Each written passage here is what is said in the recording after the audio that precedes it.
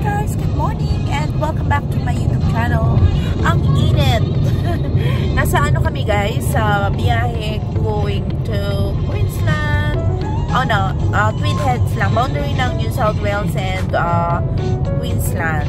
Sa in-laws ko. Um, yeah, nandito na kami ngayon sa, I think, Newcastle. So, uh, nasa 7 hour and 7 hours and 13 minutes fun and trouble.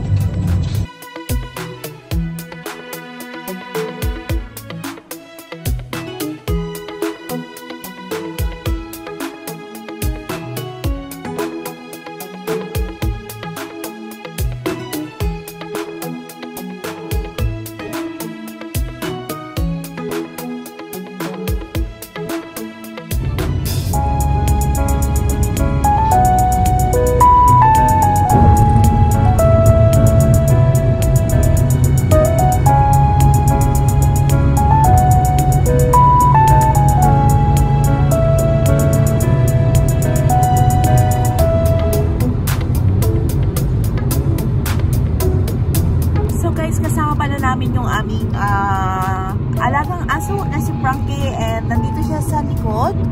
Ayan, may bed siya dyan and uh, nilagyan namin ng uh, yung um, nilagyan namin itong uh, hamak para uh, yung leather ng uh, upuan ay hindi hindi niya ma-scratch. Uh, nandiyan din yung bed niya. Uh, may water din siya dyan and toys. So, yeah, mag-stop kami sa rest area para um, makainin siya and yung ano, kung gusto niyang mag-toilet, ayan. Oh, hello! Frankie, hello! Hi, Frankie, hello! Walang problema kay Frankie kasi gusto niya guys ng ano, gusto niya ng car, gusto niya sa car. So, wala kaming naging problema sa kanya. Yeah? You love travel? You love the car? Are you hungry? Yeah? We're gonna stop in the rest area too, yeah? We're gonna stop in the rest area! Yeah? ano guys, gusto niya dito sa front sa front uh, seat with me. Gusto niya nandito siya sa aking ano, lap. Ah, so, pwede naman siya kaso um, suggest kasi ng beds na ano, nung doktor niya kahapon na sa likod namin siya ilagay para very safe. Lalo na sa ano, lalo na sa accident, parang ganun, nasa, dapat nasa likod talaga siya. So, dyan lang muna siya sa likod. Pero pag malapit na, lilipat ko siya dito sa aking, ano, sa front. Sobrang init ng araw, guys. Sobrang init.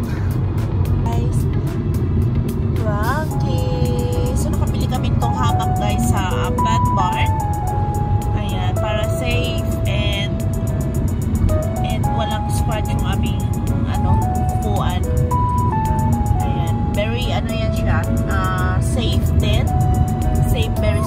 dahil sa seatbelt. So, yeah. Hi, Bob!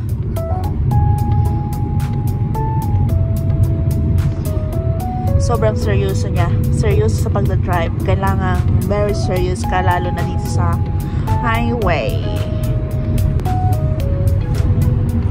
mga ito, mga